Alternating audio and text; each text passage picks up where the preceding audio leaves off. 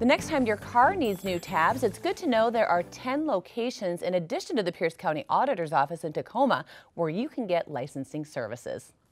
The various locations around Pierce County often provide quicker and more convenient services right in your neighborhood. We have 10 subagents in Pierce County, conveniently located throughout the county.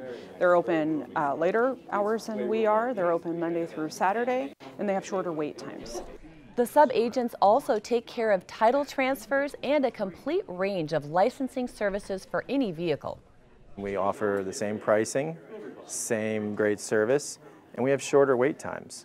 And in many cases, these are all family-owned businesses, so you know, general consumers out in Pierce County are supporting local business.